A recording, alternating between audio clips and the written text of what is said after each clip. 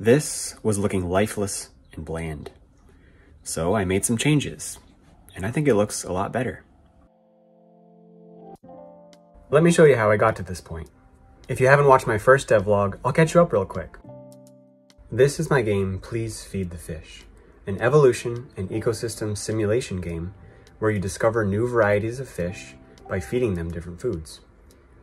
Manage populations of fish across six different biomes and discover new and interesting fish, each with their own personalities and feeding habits. The game is currently in development, and my goal is for it to be published on Steam by the end of the year. So if I'm going to simulate a living ecosystem, it needs to feel alive. Let me show you where I started. My starting point was this basic pond shape, using Unity's terrain tool.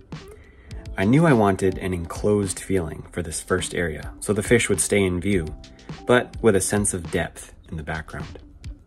With some hills in the distance and fog applied to the scene, that depth was starting to be realized. Shallow ponds like this generally have tons of plants growing in them. This is a pond in my backyard that's only a few feet deep. There aren't any fish in it, just frogs and salamanders. The occasional duck will come and visit if there's enough water. But as you can see, it's filled with plants. So, I needed some plants. I modeled my first simple one, a tiny clover-like plant that would grow all over and be the most abundant. Small ponds are generally stagnant. The water doesn't move very much. But the plants needed to give a sense that they were underwater. So I gave them a waving animation. This took some time to get right. At first, it was too fast, and all of the plants were synchronized. I watched it for a few minutes and I started to feel motion sick. Definitely not something I want my players to feel. But I realized it felt like being on a boat in the ocean. The plants were moving as if being pushed back and forth by waves, so I'm keeping this in mind for the ocean level. To make these plants look more like they were in a pond, I first gave them a random rotation and a random starting point for the animation. Then I slowed it down by a quarter. This was feeling much better. It wasn't so dizzying and actually felt relaxing. I had wanted an easy way to test out larger plants, so out of laziness, I stretched my tiny plant to make a sort of reed in the background. It had the right feel. This was where my pond was for the last devlog, and it was kind of painful for me to show because I knew it needed to be worked on. An iconic pond plant is the lily pad. My pond isn't deep enough for lily pads, sadly, but my simulated pond, of course, is. So I modeled the lily pad and gave it a gentle waving animation. Similar to the tiny plants, I randomized their rotation and animation and slowed it way down until it matched the other plants. At full speed, they look like they're dancing, which could work for a completely different game.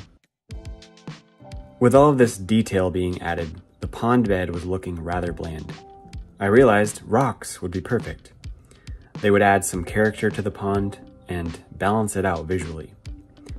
I modeled a basic rock shape and first strategically placed a few in places that I felt balanced the scene. Some larger rocks. Then I used Unity's terrain to scatter a bunch of smaller ones on the bottom. I forgot to fix them rotating randomly, but I actually like the rough edges on the rocks here and there. Two plants are good, but I knew I needed at least three. Looking at my pond again, it's obvious that grass, or grass-like plants, are one of the most common plants growing in ponds. So I modeled a single blade and created some tufts of grass within Unity. I gave the blades a similar flowing animation and spread them throughout the scene, filling in some gaps in the background and putting them in some interesting places in the foreground. The scene was looking much better, but something that had been bugging me was the color. Ponds are usually a murky brown or green, but blue was much more pleasing to look at. But the fog was creating a washed out look to everything in the scene. The fish blended in with the background. I like the fog, and it adds a lot to the scene, so I took another stab at the color. After some experimenting, By simply darkening the blue, it took away some of that overpowering blue and simply darkened the rest of the colors. There's still a blue hue, but it's not quite as strong, and the colors stand out much better. Lastly, there were a few finishing details I wanted to add. Floaties. As I said, ponds are very murky. The water is rarely clear in a small pond. So I thought floaties would be a good way to show that murky quality without actually creating a murky looking scene. So using Unity's particle system, I created some green floaties that floated gently around the pond. They fade in and out like dust particles, reflecting the light as they turn. While I was in particle mode, I also added another system that created bubbles here and there, being released from the mud and rising quickly to the surface. With all of that together, the pond is looking much more alive. Let me know what you think, and if there's anything else I could improve. I know that the fish are the focal point of the game, and you may have been hoping to see more of them. But background environment was the thing that really needed to improve visually for me, and I'm quite happy with it.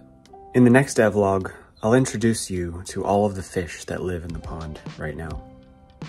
Here are the four varieties so far. Let me know in the comments what type of fish you think they are. I'll let it be a test of my modeling skills and art style. If no one can guess, then I probably have some work to do. I mentioned this in the last video, but the minnow is the starting fish, the smallest of the four.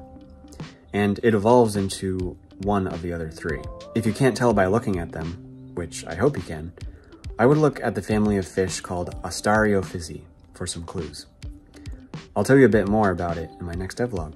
If you haven't watched my first devlog, or if you're watching from the future, here's a link uh, to my playlist of all of my devlogs. Thanks for watching, and I'll see you in the next devlog.